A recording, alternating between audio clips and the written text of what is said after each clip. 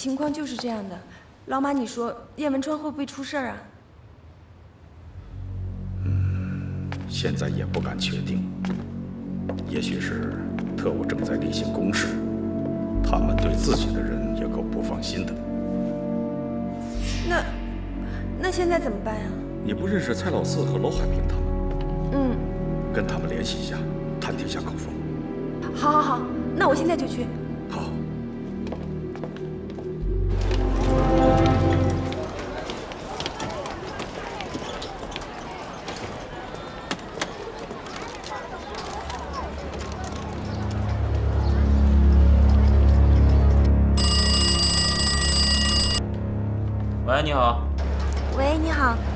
局吗？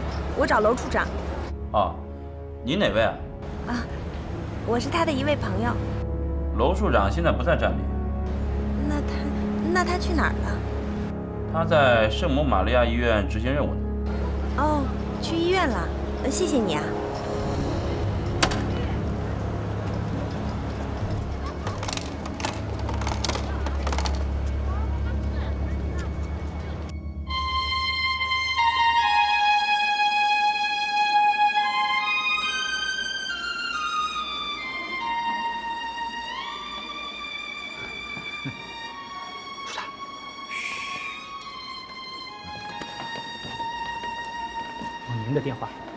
是个女的打的。嗯，女的？嗯，在哪儿？护士站。喂，哪位？喂，楼处长，我是玉兰。哦，玉兰妹子，哎，电话怎么打到这儿来了？我打到保密局了，他们说你在医院，我就打过来了。怎么的？找我什么事儿？我刚才出去买菜。回去的时候，发现燕公馆门口有几个可疑的人，我很害怕，不知道他们是什么人。你现在在哪儿？我现在在燕公馆门口的公用电话亭。文川知道这事儿吗？他和雷小姐出去了，所以我只能打给您了。我现在不敢回去。楼处长，你这些人到底想干什么呀？玉兰妹子，你先先别着急啊，你告诉我你在哪儿，我现在马上过去接你。处长，处长。不好了，燕副官被抓了！啊，燕副官被抓了，关哪儿了？关在看守所。廖队长他们一直在审。还有，燕副官的保姆好像也是共党。喂，玉兰妹子，玉兰妹子，喂喂，处长，这女的是不是跑了？用不用叫几个弟兄去抓她？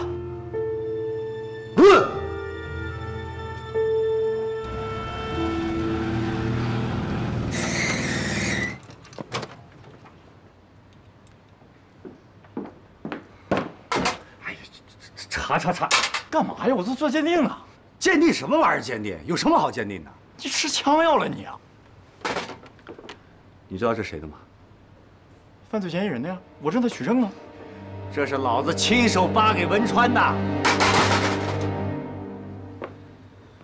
这是文川的枪。啊，文川被抓了，玉兰妹子也是共党嫌犯。啊？查查查，有什么好查的？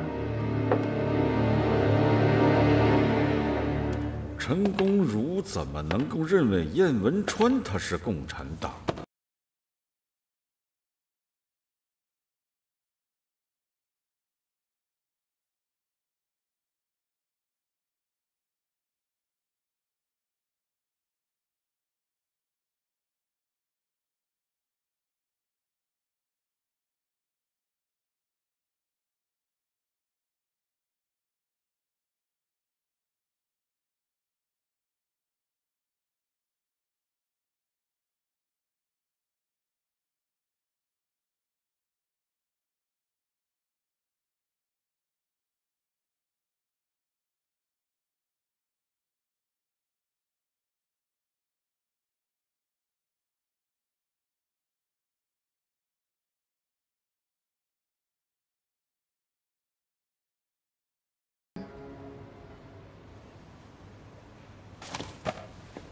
对不起，都是因为我害了大家。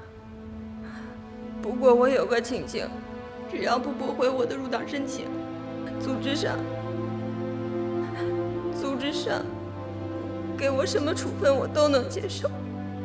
哎老天说的对呀，盲动是要付出代价的。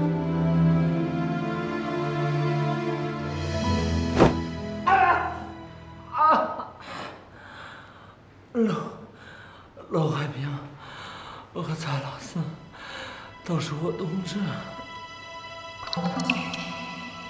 哎呀，要不然呢？怪不得那卢海平跟跟蔡老四跟跟咱俩对着干。嗯，他们就是共产党，他们他们。说，还有谁谁还有谁？还有陈站长和你们，你们不都是？我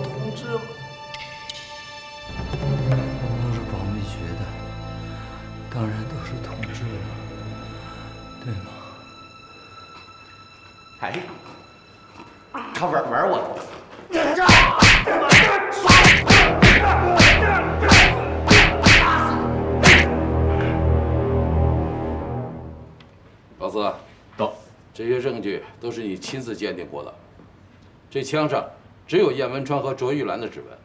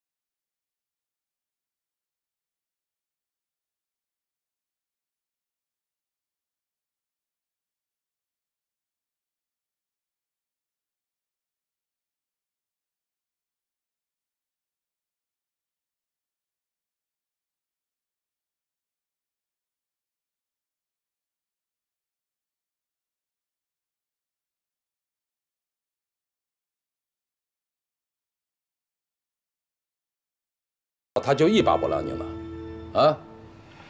如果他真的是共产党的话，他会赤手空拳的从东北来到江城吗？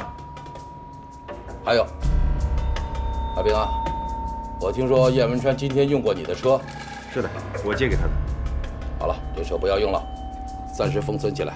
站长，好了，如果你们对这些证据还有什么质疑的话，最好去问问燕文川。下去吧。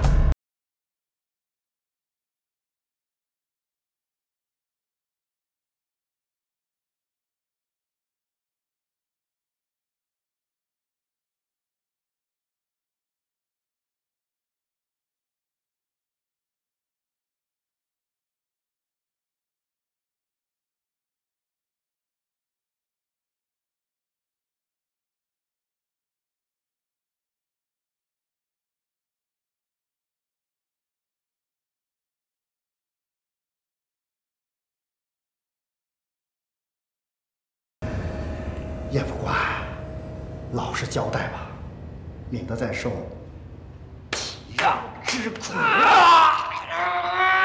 你们这是刑讯逼供，是严重违法的。你他妈还给我来这套是吧？住手！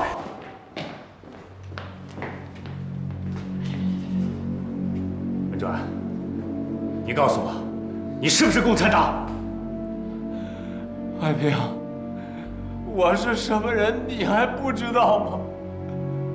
我要是共产党，我费那么大力气帮你们破海神案干嘛呀？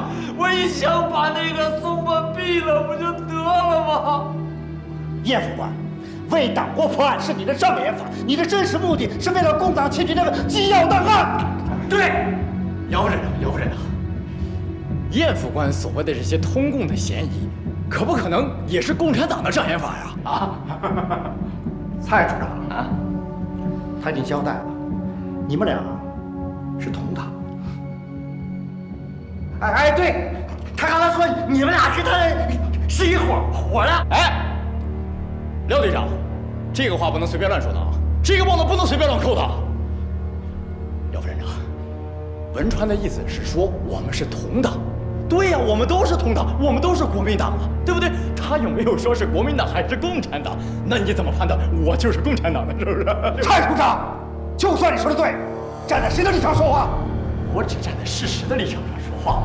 我认为现在的证据还不足以证明聂文川就是共产党，您觉得呢？好，你问他那本新民主主义的书从哪弄的？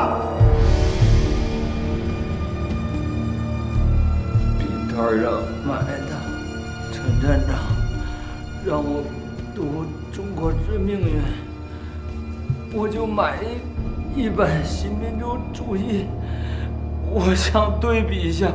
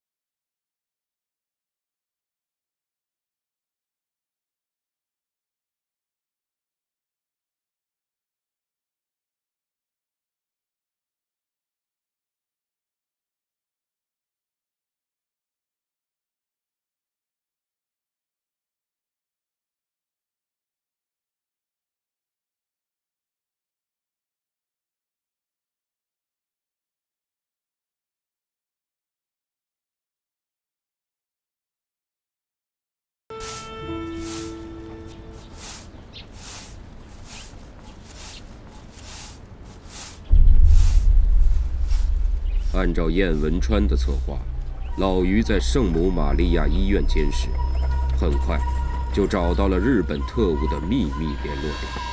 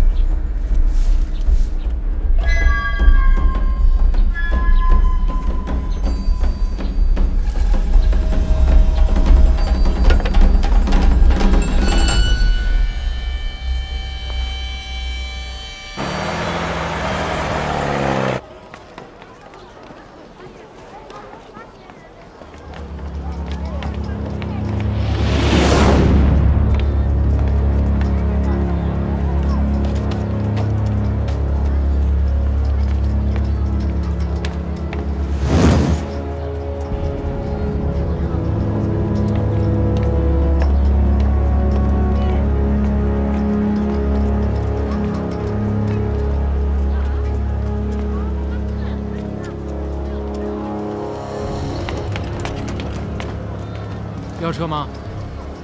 你怎么到这儿来了？叶文川出事了，老马让你赶紧撤。好。是，是，是我失职。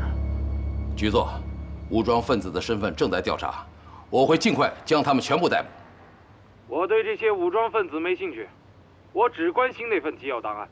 半个月内，你要是还找不到，明年的四一大会上，我会给你烧香的。报告局座。海蛇案已经有了重大突破，不日即可全部破案，请局座放心，这次绝对不会出任何事情。那你抓紧。是。我会第一时间向局座报告的。给我盯紧了。是，就这样。是，局座再见。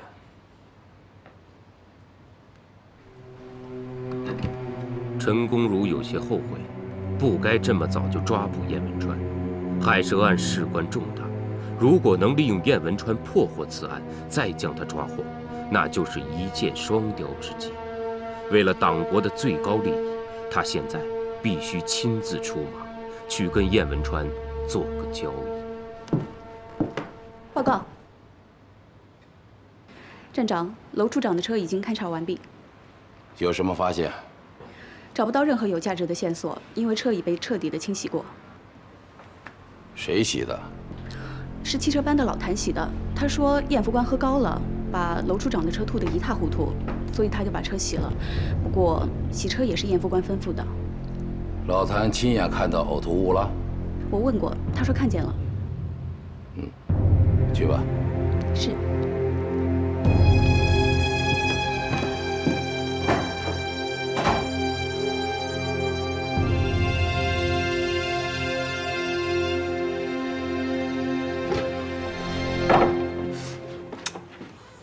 保险箱不见了。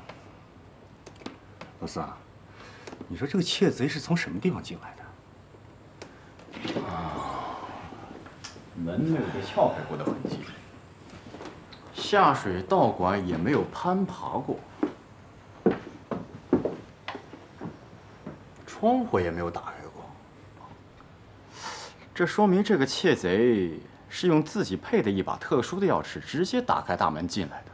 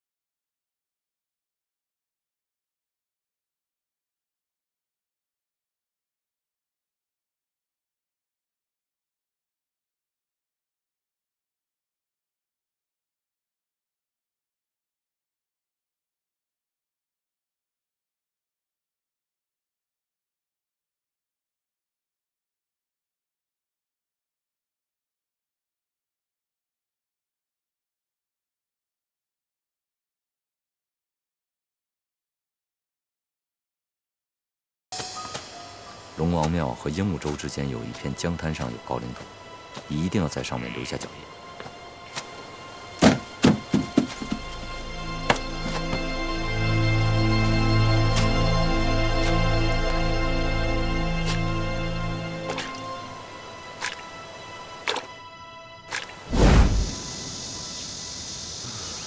这一片全是高岭土，给我重点搜查。是。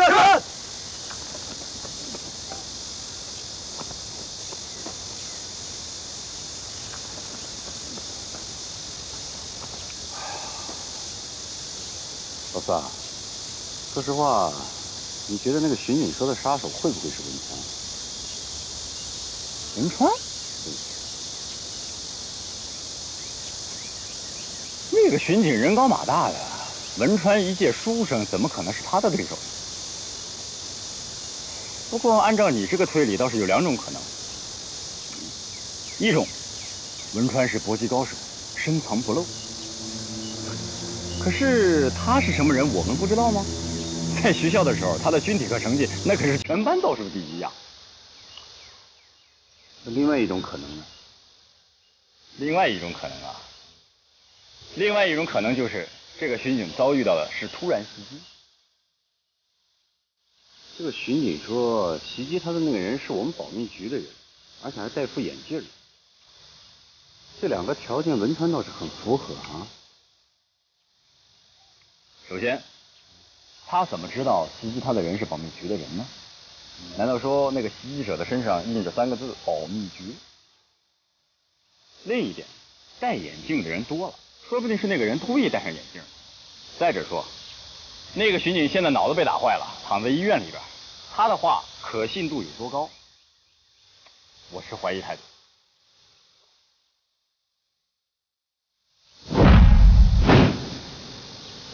罗处长，发现一个保险箱。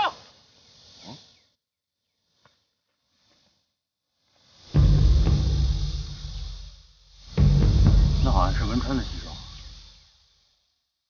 老四，仔细看一下四周，看看有没有脚印。听到了没有？仔细看一下四周。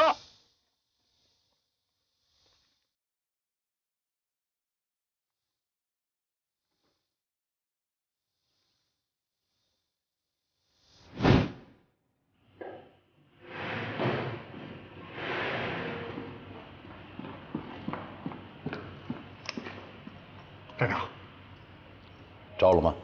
呃，没招。招了。怎么着？起初还嘴硬，后来说娄海平和蔡老四是他的同党。什么？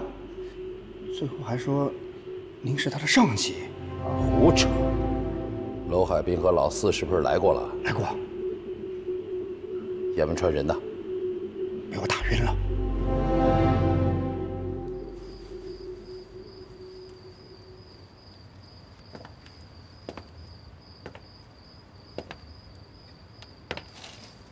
再自责了，事情已经出现了，你后悔也没有用。再说这事情，也不会像你想象的那么糟糕，啊！火山一定会有办法去挽回的。我想给雷小姐打个电话。嗯，你给她打电话干什么？档案马上就要到手了，我不想那样就放弃。也许叶文川现在还没有招供，我给雷小姐打电话，或许雷小姐可以把他救出来。哎，你这个可真是提醒我了。燕家和雷家可是世交，燕文川出事情，雷震山肯定不会袖手旁观。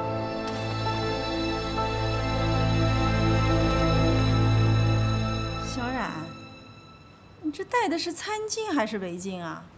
当然是围巾了。您见过那么漂亮的餐巾吗？家里这么暖和，你戴围巾干嘛呀？妈，你这个也要管啊？我喜欢不行吗？就是啊，女孩子爱美是天性，你年轻时候不也这样啊？不过小冉啊，嗯，这个围巾我怎么从来没见过？刚买的啊？别人送的。谁送的？是不是男孩子？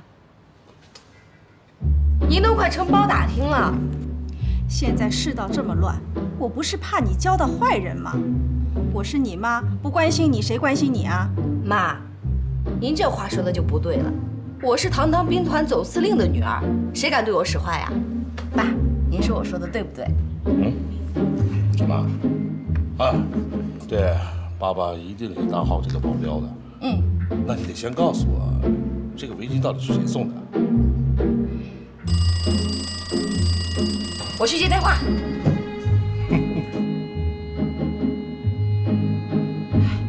振山，你说小冉是不是谈恋爱了？多大了，谈恋爱是正常的嘛。哎，文川，坐。你们俩下去吧。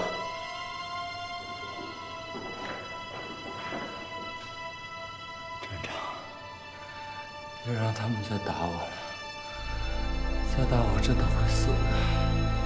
来来来，来文川，先吃点饭啊，身体要紧。站长，这是断头酒啊！你真的让我死？怎么会呢？你这么一个有才华的青年，大有前途。就算你是一时糊涂犯了错误，那也不至于死罪嘛。再说了，你也是我的世侄，对不对？就是嘛，站长，你可千万不能杀我呀！文然，知道这是什么酒吗？法国白兰地，是光复那年委座亲自送给我的。我今天把它带来，咱们俩喝一杯，啊？叔，要喝你放我回家去喝吧。我现在我什么都喝不下去。好吧，那我就说句掏心窝子的话吧。不管你承认不承认自己是共产党，只要你答应我一个条件，我马上就放了你。您说，您说什么条件我都答应。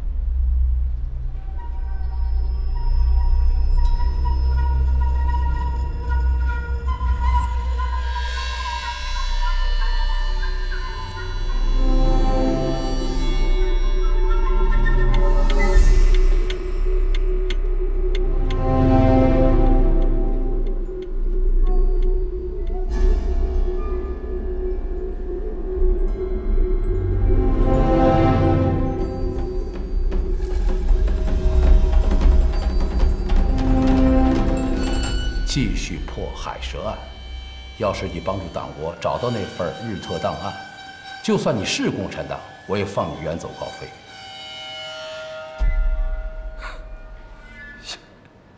远走高飞。共产党追杀我，你没有说我是共产党，我走到哪儿不都是个死？那这么说，你是不愿意合作了？我。不是，我是说，我我总不能这么稀里糊涂给党国服务吧？总得给我恢复名誉吧？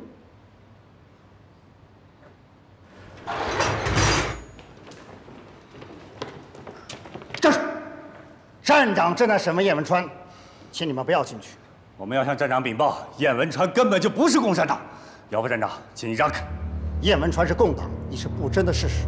请你们不要打扰站长的审判，不然客气了。什么狗屁事实！我看你们是在捕风捉影，有种来审我呀！海平，别跟他们多废话，走。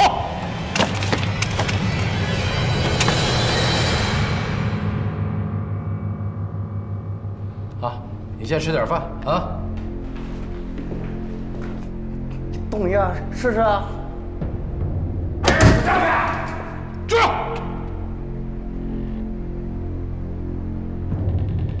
都是党国的军人，竟然拔枪相向，成何体统啊！啊！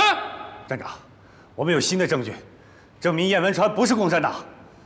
啊！立正！等一下。哎，镇山，你你你怎么来了？我听说文川被你们当成共产党嫌疑犯抓起来了。我手下人干的，我刚刚接到通知，我我正想告诉你们呢。我不明白他怎么成了共产党了？这个具体情况还不清楚，还在审讯他。他自己承认了吗？呃，没有。我能见见他吗？你看这刑讯室有什么好看的？吓着小冉。舅舅，我不怕，我要见我长哥。将军的女儿应该长长见识，得学会懂得分辨是非呀！啊，带路吧。好，请。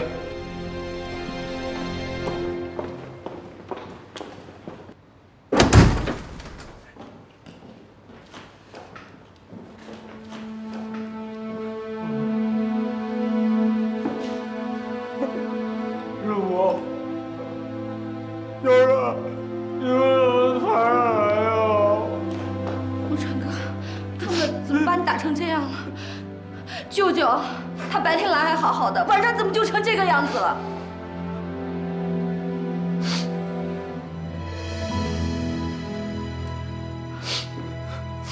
文川，你真是共产党？师傅，我怎么可能是共产党啊？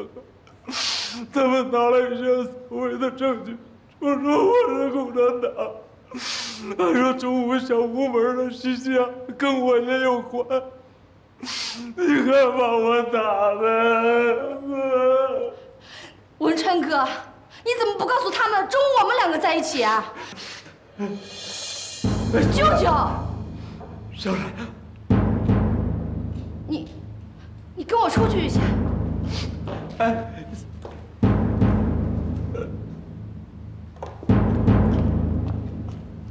小冉，什么事儿？说吧。舅舅，你不是答应我要好好保护文川哥的吗？你怎么能让手下下那么重的手呢？小冉舅舅真的不知道这件事情。你刚才，刚才说跟文川中午在一起，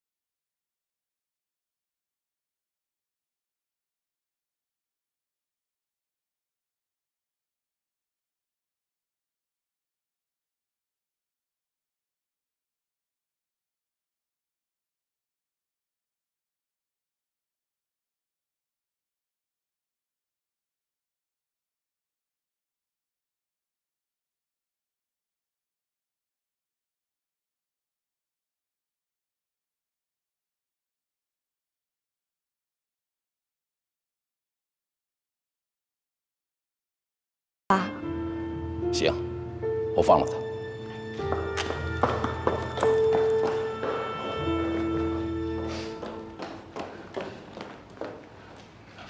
振山，小赵跟你说了吧？啊，说过了，说过了。你说他哪有时间去作案呢？啊？保密局应该给我个说法吧？振山，你先别着急。海兵啊，到。你不是有新证据说这个文川不是共产党吗？什么证据啊？报告站长，证物已经保管在保密局的技术处了。哎，站长，新的物证我们找到很多，但一时不能全部都拿过来。志深啊，呃，这件事情还需要把人带回保密局补充调查。那好，我就跟你回保密局，现在就走。文川哥，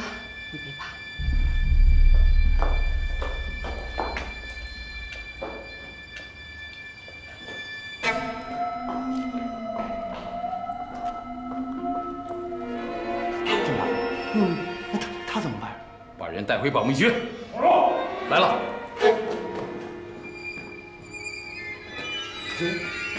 来，走。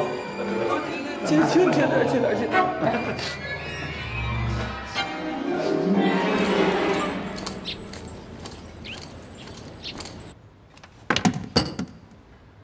经过现场勘查，我们确定燕公馆的确被盗。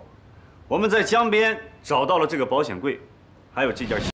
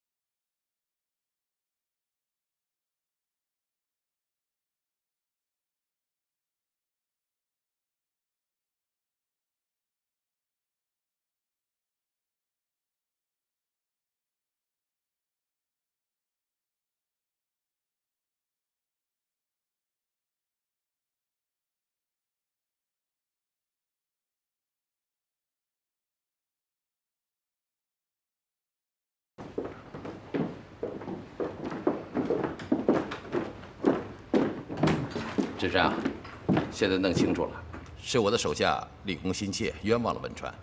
那当然，我也是有责任的。好在文川只是受了一些皮肉之苦，养养就好了。啊，是啊。欧荣啊，是不是江城最近到处都充满了浓浓的血腥味啊？应该用别的味道来压一压吧。什么味道？人情味儿。报告，什么事儿？刚刚接到电话，在圣母玛利亚医院抢救那名刑警死了。怎么死的？是护士烟雾配错。老四、海平，到。你们两个马上到医院去，看看是怎么回事。是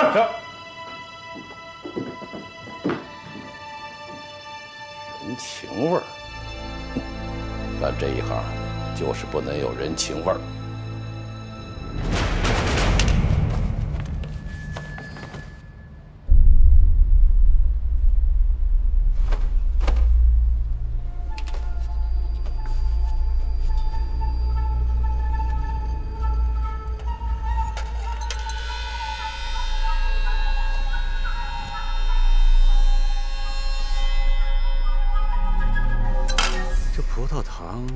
会致命的？报告处长，按照规定，输液的时候一定要在葡萄糖水里加入一定比例的氯化钾。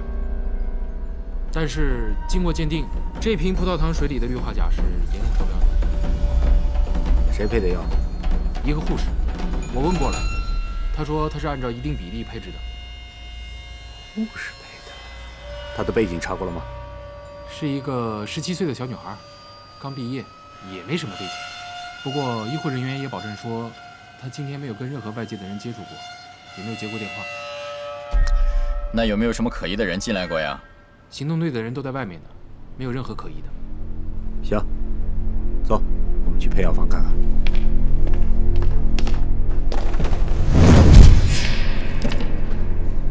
这个就是氯化钾。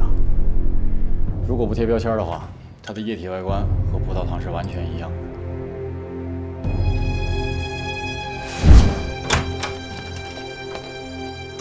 燕文川已经提前安排唐世雄到医院，弥补他没有注意的漏洞，杀死侥幸逃脱的警察。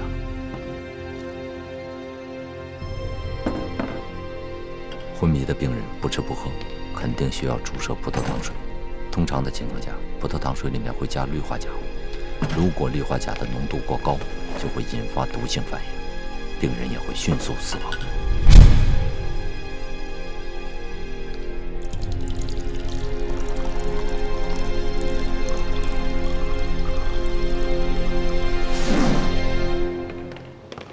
配药房到病房的距离大概是十米左右。